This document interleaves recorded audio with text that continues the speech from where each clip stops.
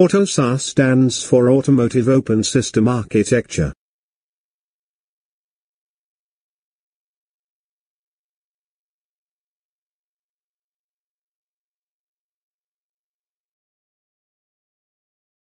AUTOSAR. An overview. Standard. Classic platform.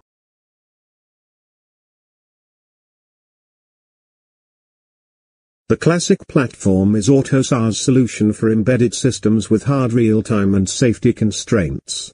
The architecture distinguishes on the highest abstraction level between three software layers which run on a microcontroller. The lowest layer is the basic software layer.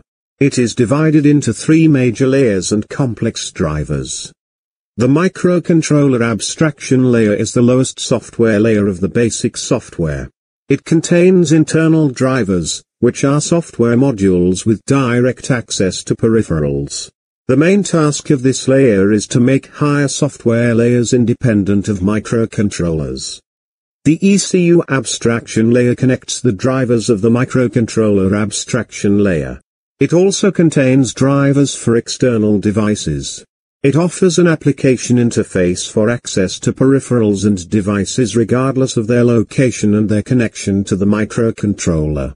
The main task of this layer is to make higher software layers independent of the ECU hardware layout. The complex drivers layer spans from the hardware to the runtime environment. Its main task is to provide the possibility to integrate special purpose functionality. The services layer is the highest layer of the basic software which also applies for its relevance for the application software.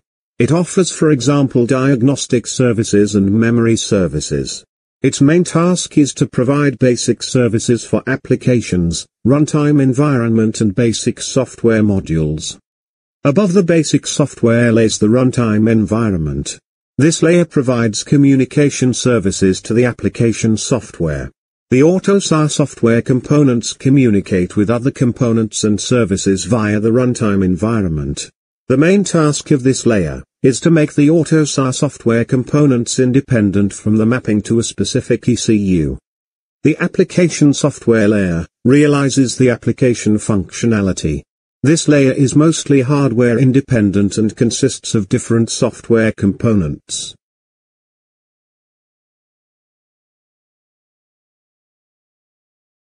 If you want to learn more about AUTOSAR and other interesting topics, go to embeddedacademy.com.